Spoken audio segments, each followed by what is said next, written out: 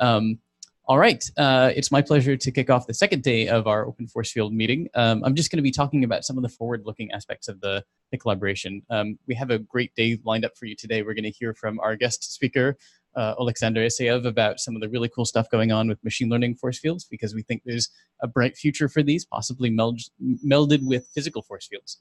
But I'm going to tell you about some of the technologies that we've been working on that will take us through year two and beyond. But I first want to think of want you to think about like th- there are other fields we should be paying close attention to and trying to learn from them when we can. Our field is is not a very modern one in some sense. Uh, it started computational chemistry quite some time ago, and a lot of the tools we use are from the earliest days. Certainly, we're still using GAFF uh, from 1999. Uh, that was when I started grad school. Um, so I, I, want to challenge us to think about what the future could look like for force field science. And uh, if you look at machine learning, uh, for example, apologies for the top bar. I don't think I can move that.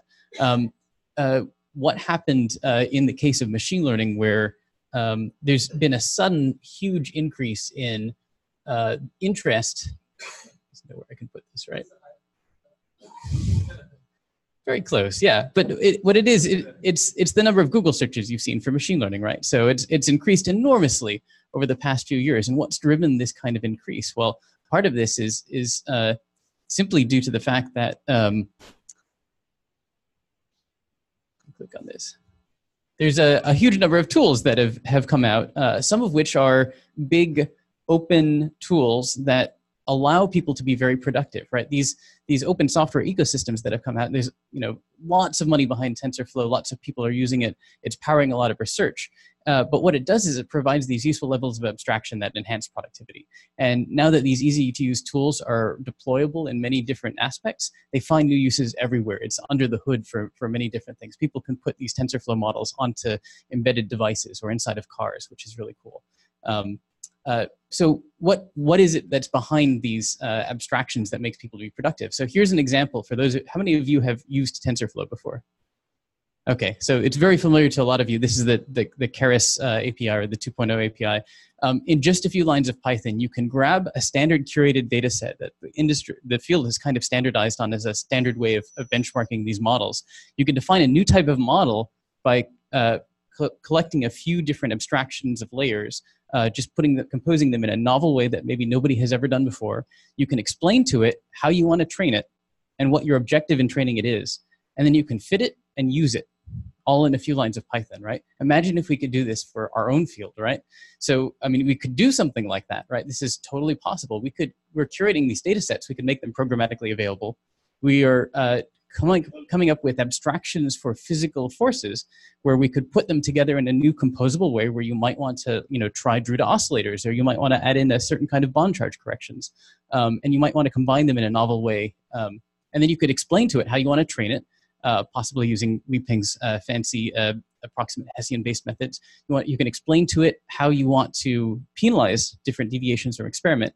You could fit it and evaluate it in a few lines of code. So I'm not saying that we're definitely going to do this, but with something like this be valuable to the community. And I think this is something that we should be thinking about. What are the levels of abstraction that would allow us in our daily jobs to be very productive? So what we've been doing is focusing on automation so that we can easily scale uh, our effort and go through rapid cycles of parameterization to ask different questions about what matters and what doesn't, what helps and what doesn't. Uh, we've concentrated on what we identified a while ago as the easy aspects, right? Uh, fitting valence uh, terms using uh, fixed valence types. But we're working our way through all of these different aspects to try to get to the point where we can ask really complicated questions about whether polarizability helps if you have the same data set you're training on, for example.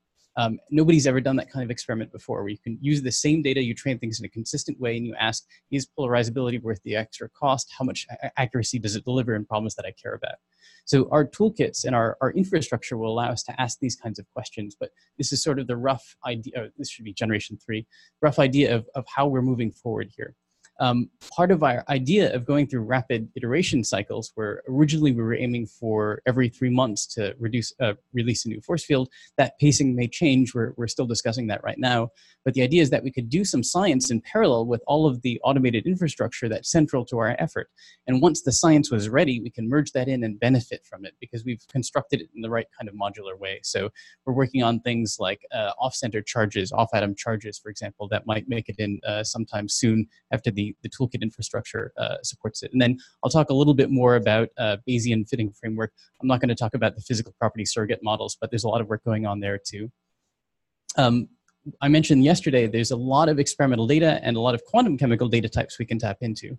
And so we've been designing our infrastructure in a way that's very modular. So if you want to try to explore a new kind of data set, it's very easy for an individual researcher to uh, examine that data set, uh, come up with a likelihood model for it, and then plug it into our infrastructure in a way that we can all benefit from it without having to change the underlying infrastructure that we've built. Um, there's a lot of things we can do as we start to scale up. So we've we fit to a very modest amount of data in this first force field iteration, but there's an enormous amount of data we can tap into, and by design we've structured our uh, our um, toolkit so that uh, not the toolkit but the infrastructure so that we can tap into very large data sets or generate very large data sets with the help of uh, daniel smith's QCArchive from the MolSSI, um, you know we're starting to look at generating very large data sets things like uh, small molecules from the PDB, uh, which uh, Alberto has generously contributed uh, some fragments of. Um, we could go up to things like Enamine Real, which has 11 billion molecules.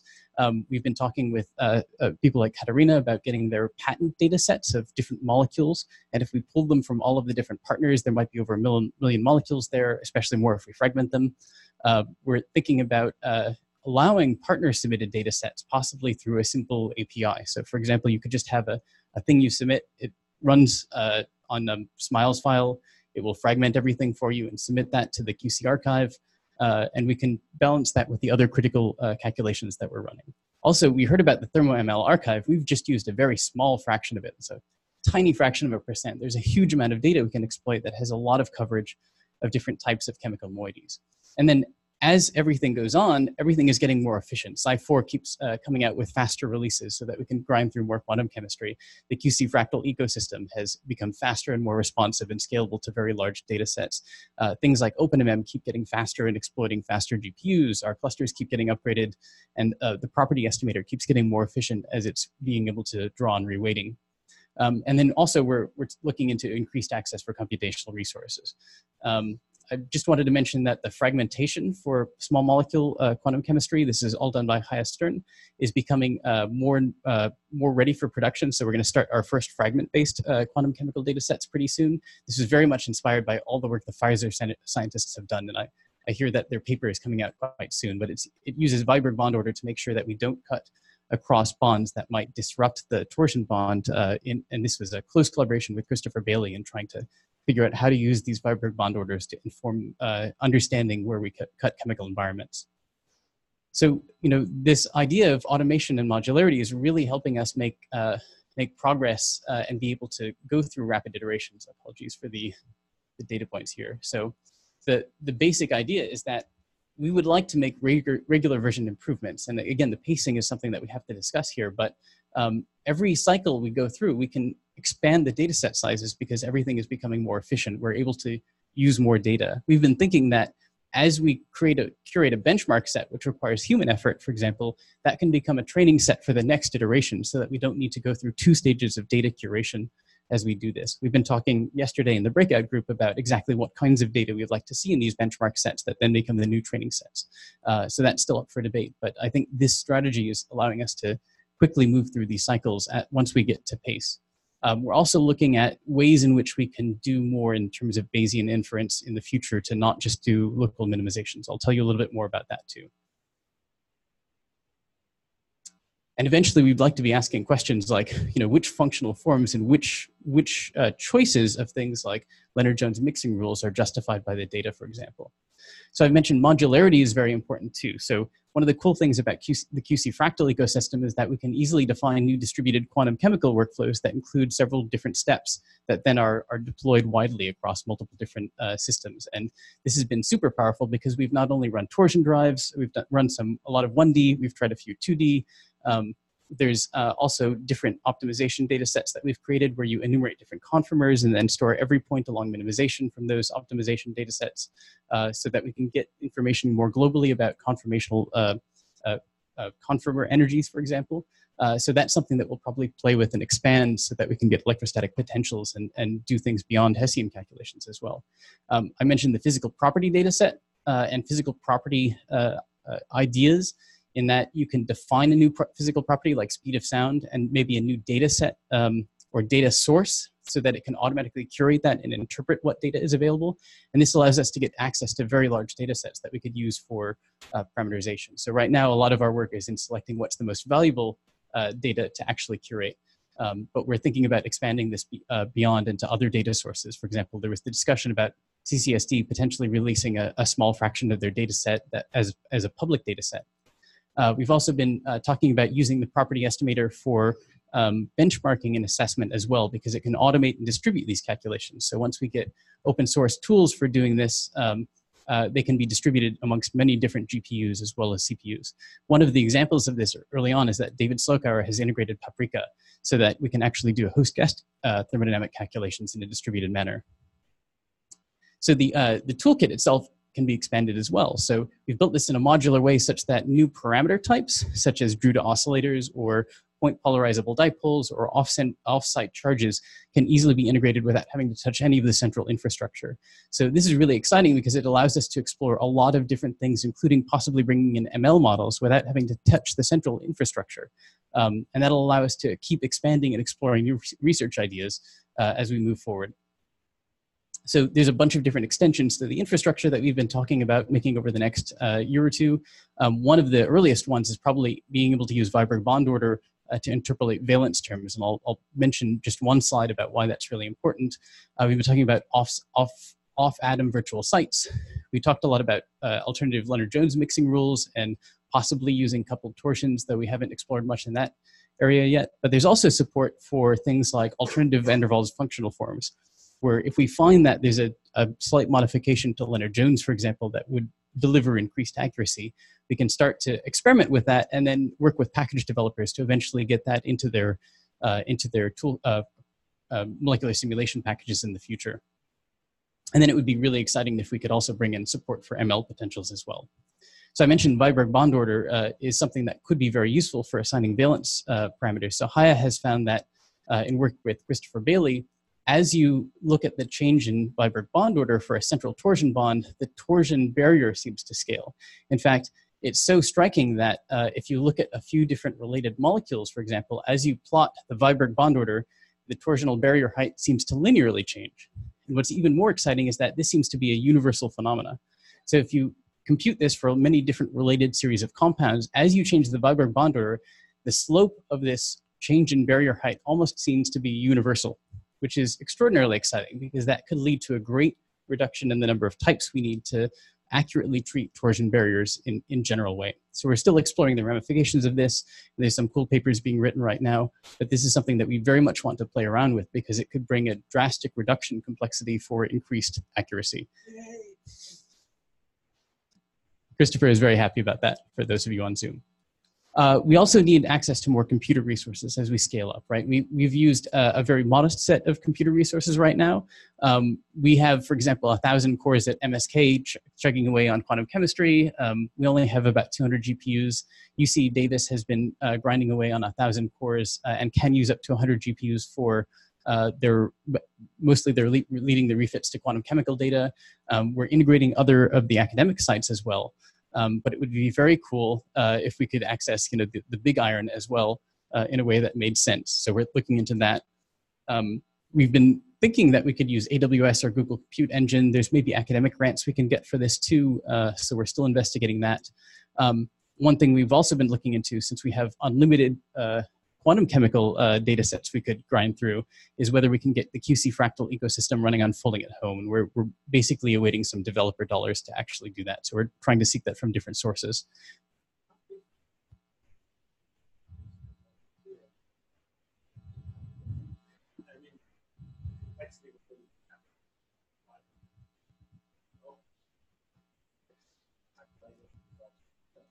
So Ross asks, how feasible is it for companies to contribute to the computation of quantum chemical data? Um, we've thought about that, and maybe Daniel Smith has as well. Uh, I'll, I'll hand the microphone to him Uh, yeah, so I think the biggest issue there is, is getting behind your firewall and being able to compute those and then validating those results. Um, so I think it's a relatively low amount of work for us now that we have a stable ecosystem that we feel that we can spin up behind your firewall. Um, and it would mostly be a matter of like trying to figure out how to chunk up data sets for you guys to run um, and then basically getting a blob of data sent back to us. So I think it's relatively straightforward at this point. How many people would be interested in that? we can find you offline. Thanks. So I'm going to uh, take a little diversion to talk about some of the future parameterization infrastructure and ideas that we're trying to take from Bayesian inference. And we may not jump directly into it, but we may take a small diversion uh, into um, Bayesian-like methods. So, you know, one of the things we're aiming for is to really automate everything that we're trying to do where we don't need uh, chemical wizards anymore, uh, like Christopher, who can tell us exactly what the bond length of a particular nitrogen should be, but instead would like to discover this from the data in a fully automated manner. And so we're, we're really aiming for something that can automatically select like the appropriate functional forms and systematically improve our force fields in a way that can also quantify the uncertainty in our force fields and our predictions. And also to tell us if we have limited budgets for gathering new data, what new data is going to be the most valuable for, for moving forward. Um, and you know, there's a lot of challenges with the way that current force fields uh, are parameterized. One of which is that we may have many local minima in the parameter space. That's something that we haven't even started to, to deal with yet. Um, there's a lot of other issues too that we kind of glossed over. We do have to come up with all these data weights about how much you want to penalize uh, deviations from experiment for one class of data versus another class of data. And then we, we've almost barely scratched the surface about overfitting. We're not even keeping a validation set um, uh, out to monitor whether or not we're overfitting in this case. So there's a lot of concerns that we have to address. And just to illustrate one of these things, I think I was talking with uh, Julia and Bill yesterday about the banana-shaped parameter landscape and how you can, uh, you know, there could be an entire nonlinear manifold that has approximately equal fits. And that might be the same, it might give you the same predictions for the training set, but it might have vastly different predictions for the for whatever you application you actually want to use this for. So why just pick this set of parameters and why not actually uh, assess the uncertainty from over here? Here's an actual example of uh, methane GB radii. Uh, if you look at the C versus the H radius, fitting data like hydration free energies pretty well, it fits on this weird nonlinear manifold, right? Um, and there's no reason to prefer any particular point along that manifold, but some of them might generalize better than others. On the other hand, if you look at the deviations in any individual direction, you'll find that it's very sensitive. So you can't just change one parameter and freeze out the others. So Josh and my group has done an experiment uh, also looking at fitting GBSA models because it's a very inexpensive surrogate. You can compute hydration free energies from just a few samples. Uh, these are actual free energies of transfer though. Uh, and he's matching against FreeSolv dataset, which has about 700 compounds. If you start from sampling from the prior for all of these different types, these are uh, radius and scale, and you just minimize using a standard kind of minimizer like you would find in force balance, here's where you end up. The little dots show you where you get stuck you don't move anywhere. You can see that the, the versions, like we're not seeking a global minimum here. We're ending up stuck in a very different kinds of models with very different uh, errors in that case. Um, if you try somewhere near the basin where you think there's a global free energy minimum, which we've found by exhaustive Langevin dynamics, it, the same thing happens. It's very rugged on every scale. You still get stuck in a very number of very different model places that are not at all equivalent. In this case, they're pretty similar in error, which is great. So we're hoping we can seek those free energy basins, but uh, there's still a very rugged landscape that we have to deal with. And that's something that we're not dealing with right now. The other thing, of course, is that we'd love to be able to predict not just a number, but a number with an uncertainty that will give you some confidence that the free energy you're predicting for a binding free energy is going to be meaningful or it's going to be worth it, or if there's like some problematic, uh, problematic functional group in the compound, we'd love to be able to tell you whether or not that's going to cause uncertainty in our predictions.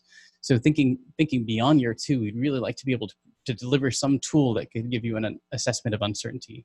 And we, the way we do this is uh, through Bayesian inference, where we have a prior, which tells us something about physical parameters. We have a likelihood function, which tells us how likely we are to see some experimental data or some quantum chemical data. And then we can put that together into reasoning about the posterior, and we can just sample from that. And the cool thing is that the likelihood function is something that you can easily multiply. So that means it's very decomposable and very modular, so that uh, when you plug in a new type of data, it just the log likelihoods get added up. As simple as that. You can do all sorts of cool things, um, provided you have a way of computing whatever it is your experimental measurement is from your simulations, which we already put into the property estimator. And then you need an error model which says, given that I've observed this density, uh, and I know what the true density is, what's the probability that deviation was a, within experimental error? And that's something that the ThermoML archive provides through your uncertainty measurements that are reported automatically. So the, the cool thing is that as you more add more data in this Bayesian approach, if your model space is big enough, you always get better. You can, you can quantify how much you reduce the uncertainty in your parameter space or uncertainty in other predictions through information theoretic means. And uh, the really cool thing is that even if you don't know some parameters, uh, like things related to the experimental error measurement process, you can just infer those away as long as you have some sort of model of them. So you can propagate that uncertainty all the way through. You can even use prior rounds of inference. So if you produce a, a parameter set uh, where you'd like to be able to say something about uh, how how does the internal data I have in my uh, in my institution actually help condition this, you can very rapidly reweight that or reselect a subset of parameters that includes the effect of your internal data. So you're essentially selecting uh, some new parameters that are more consistent with your internal results. And the cool thing is that this is exactly the same as anything you know from StatMech. It's, there's an isomorphism between the two of them. If you want to understand that better, there's a great book you can read from Jun Liu from Harvard, uh, Monte Carlo Strategies in Scientific Computing. All the slides will be online, so you can find the link later.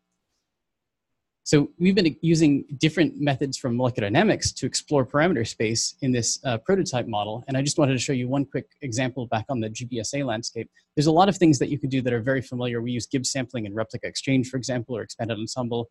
Langevin integrators we use all the time to sample uh, and for energy calculations. You can use the same techniques in sampling from parameter space and show that you can really explore parameter space quite broadly and very rapidly seek uh, good, good um, solutions that are often much better than what you would get if you just minimize. So uh, this is something that can easily be brought into the, the force balance aspect of things as well as uh, into future iterations of uh, how we do parameterization. So uh, as I said, conditioning on data reduces uncertainty. So if you look at this visually, for example, if we're, this is an experiment that was done by Michael Shirts's group, if you're thinking about using densities and enthalpies, they, they support different Lennard-Jones data sets. So uh, this is the high probability region of epsilon and sigma um, for if you're using the densities of methane from different temperatures. Here's what you get for the uh, using the enthalpies, and you can see that they're very different from each other, but their combination gives a very well localized uh, set of parameters. So we'd like to keep combining more types of physical measurements in a way that will really constrain parameter space. I will skip that because we've already talked about predictions. So there's a lot of decisions that this approach can help us make in the future. Like we were talking about Lennard-Jones mixing rules, and we could try things, and certainly there have been papers about which which ones fit quantum chemical calculations better, but which method is really best justified by the data. And uh, this is the case where the statistical nature of the measurements that we put in there will help guide our choices between different discrete sets. So we don't have to rely on uh, something that's not statistically sound anymore. We can use the statistics of the data set to really say how much we prefer one versus another in terms of gambling odds. So the Bayes factors turn out to be how much you would bet, how, much, how you would spread your bet amongst different decisions if you had to play over and over again uh, against a, uh, a house for money. Uh, same thing for atom type. So I just want to highlight one aspect of this, uh, though you can obviously use this for a lot of different choices where we have discrete choices to make. But uh, how we choose atom types is actually quite difficult. Um, I'll skip over the math, but the basic concept here is that if you have a mixture of Gaussians that all you see is this, and this is often what we see, for example, for, for uh, distance di distributions for bond types, you can fit a number of Gaussians even if you don't know how many components there are. These Bayesian methods allow you to figure out that there are three components and what the parameters for those are. This is just a graphical visualization of this process at work. It's just Monte Carlo sampling. It's the same thing you would do for uh, a grand canonical simulation where you have to insert and delete more particles, except instead of particles, we're inserting and deleting more parameter sets here. So there's a, a very uh, statistically rigorous way to figure out that there are three components and what their parameters are. So Camila Zanette and uh, Caitlin Bannan from David Mobley's group had uh, tried this idea and coming up with new atom types and new, new parameter types. And now there's a great publication that's out. You can find it on, on the Open Force Field website. Um, Smarty and Smirky are the names of the algorithms right now. But the basic idea is that if you have a parameter type, you can either delete the parameter uh, as a child, or you can create a new child parameter where you try to change an atom or change a bond or add something uh, to this. Um, one simple way to do this is to take uh, the parent types and add a bunch of smarts like decorators to construct a new uh, child type that's more specific than the parent. And when you do this process, it looks like uh, you can create a typing tree, which is a whole uh, a, a, a, SMIRNOFF force field typing tree for a particular parameter type uh, that tries to elaborate on the chemistry that might be relevant and then you can accept or reject, reject this in a way that is consistent with the data. So they had used this and worked out some really cool ways of basically trying to uh, crack open Christopher Bayly's head and generate a computer algorithm that uh, will at least come up with almost the same kind of type elaboration scheme by matching hand-created uh, types on, on different data sets. And the cool thing is that you can actually do this. It discovers chemistry on its own. It's a little bit inefficient right now, but that's something we can fix. Um, so Josh in my group uh, tried to apply this again to the GBSA uh, example that I just showed you, where he's starting with the parent atom uh, types and parameters now, and trying to come up with elaborations, these children, that um, have slightly different parameters than their parents. And if you run this process, what you see is that it actually discovers chemistry. So here's it sampling the Born radii, here's the increase in the log posterior, here's the, the amount of time we spend in the number of different types, and it doesn't increase without bound. It, it kind of saturates at some point and then comes back. But the cool thing is that at the end of this process, you'll end up with uh, an elaborated vision of chemistry where it does things like it distinguishes nitriles, which is really cool. It understands that sulfonyls have to get different types. So it, it's, it's something that will allow us to do this uh, type elaboration in an automated way. And it's a little bit off for the entire, uh, using this for the entire typing tree, but I think we want to bring in these ideas uh, sooner rather than later because it's going to give us a, a way of automat automating the decisions about which parts of chemical space we should be exploring.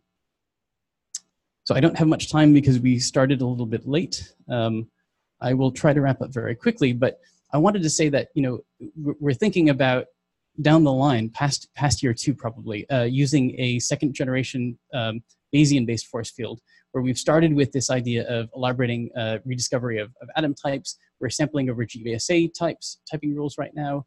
Um, we're thinking about experiments right now where we can determine how many Lennard-Jones types we actually need to fit the data because this is something where there's a lot of uncertainty. We've inherited uh, these Lennard-Jones types from very early days of our force field, so we could probably do much better there.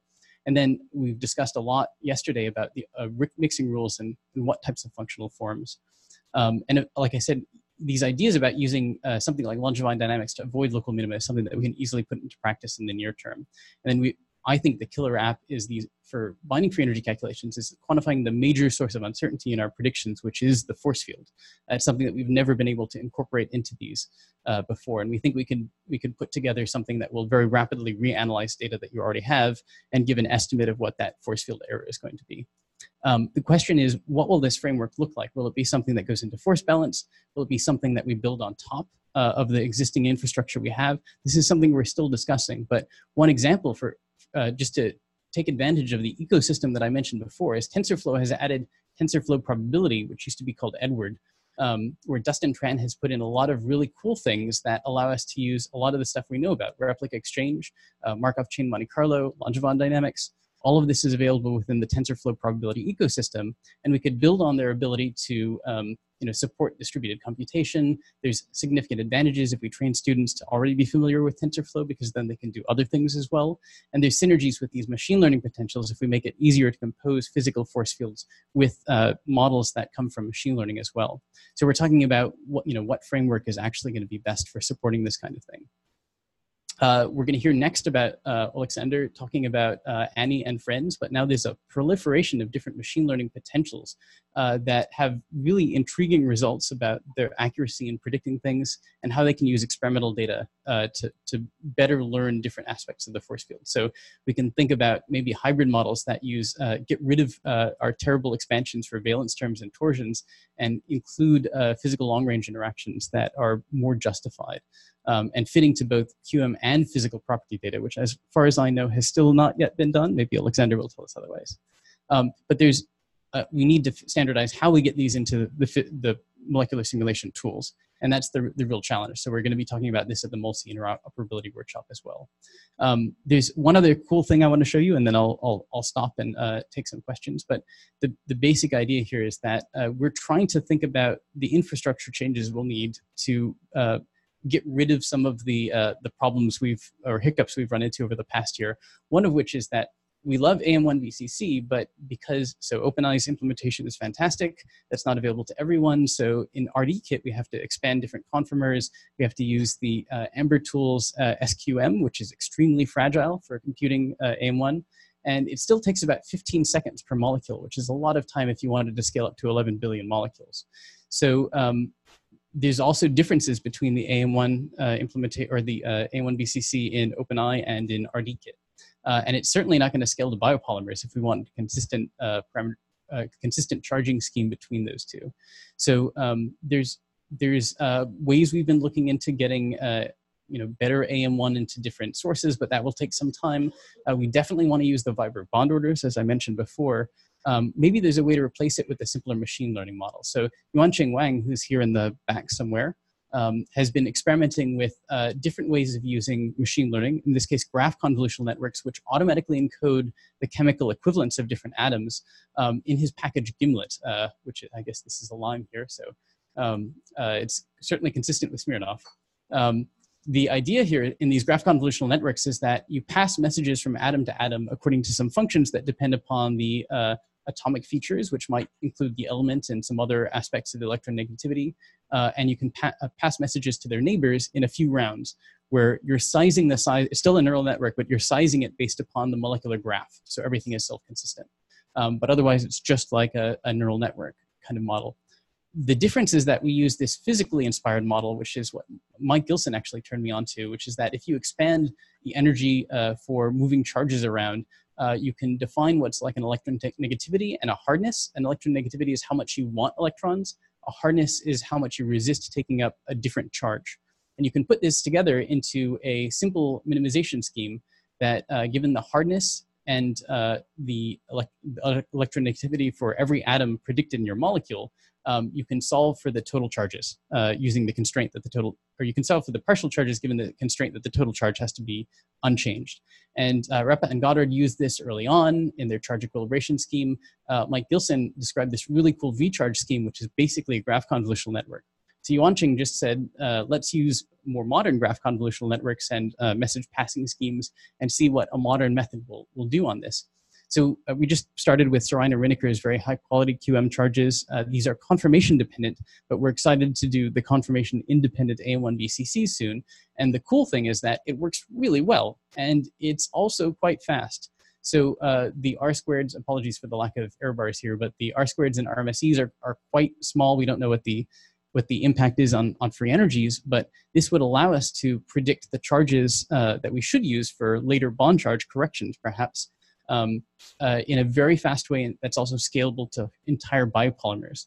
So this seems to be very exciting. The cool thing is that it's 500 times faster. And it's entirely portable because anywhere you can run TensorFlow, you can run this model as well. In fact, you could even export it and uh, put it into different libraries that don't even need TensorFlow. So uh, yes. Yes.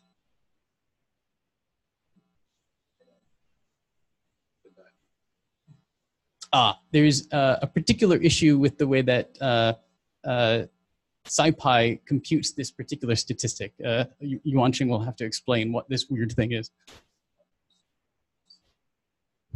So, so there are uh, two ways to define R squared. The, the first is that you can simply define that as the uh, ratio of explained variance versus uh, real variance. And the second way is uh, just a, a, square of r, which is the slope of your linear regression.